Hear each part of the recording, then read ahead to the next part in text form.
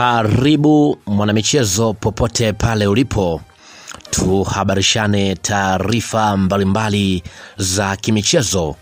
Hii ni Swahili Media. Jina langu ninaitwa Chicharito Jr. Huko Instagram natumia Chicharito Jr presenter, lakini pia Swahili Media tunatumia Swahili Media. Tufollow huko kwa ajili ya taarifa mbalimbali za kimichezo. Tunafahamu kwa sasa kwa upande wa klabu ya Yanga wao watakuwa wana ratiba kwenye upande wa ligi kuu Tanzania bara, yaani ligi kuu ya NBC.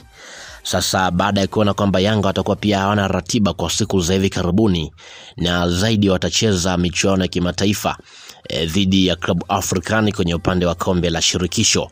Sasa hiyo haijayafanya kwa upande wa klabu ya Simba wao watulie kwenye ratiba yao. Sasa eh, shirikisho la mpira wa miguu nchini Tanzania TFF wameweka wazi orodha ya mechi kwa upande wa klabu ya Simba ambayo ndiyo tunakwenda kuitazama hapa. Je, vipi kwa upande wa klabu ya Simba, ratiba yao ipo vipi ligi kuu ya NBC?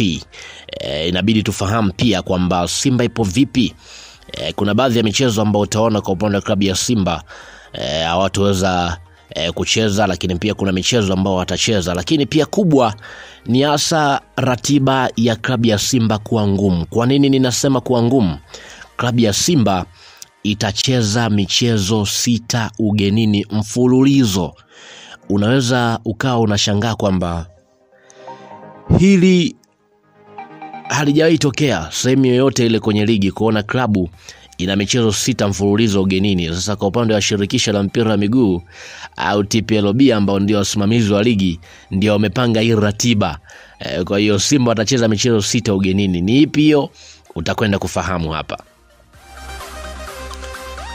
Kwanza tarehe kumi na mbili Simba na mechi dhidi ya EF hiyo ni tarehe kumi na mbili mwezi wa kumi na moja maana kwamba kuanzia sasa hataweza kucheza mchezo wowote.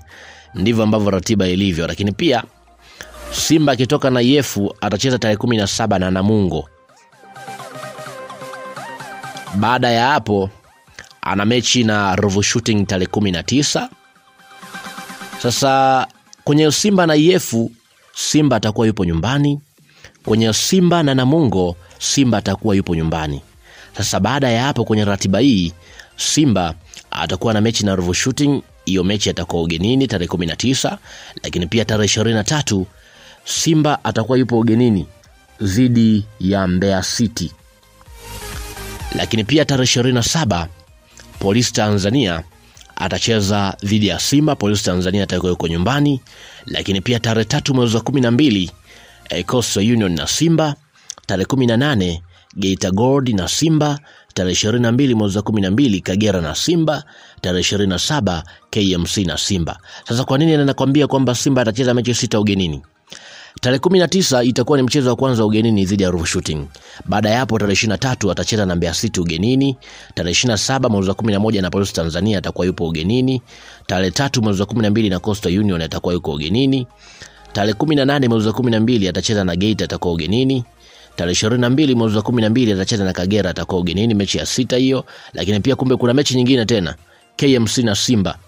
Simba pia atakuwa ugenini, maana kwamba Simba atacheza michezo saba akiwepo ugenini. Hii haijaitokea, lakini ndio hivyo ndivyo ratiba ilivyo kwenye upande wa ligi kuu Tanzania bara. Tunavyoambia kwamba ni ratiba ambayo sio nyepesi na ni ngumu, maana yake halisi ndio hii, timu kucheza mechi saba mfululizo ugenini e, ni suara zito na ni suara gumu kweli kweli. Kwa hiyo ratiba ya upande wa klabu ya Simba ipo namna hiyo, na unalipi la kuzungumza kuona ratiba ya namna hii ambayo Simba atakuwa ugenini michezo saba mfululizo?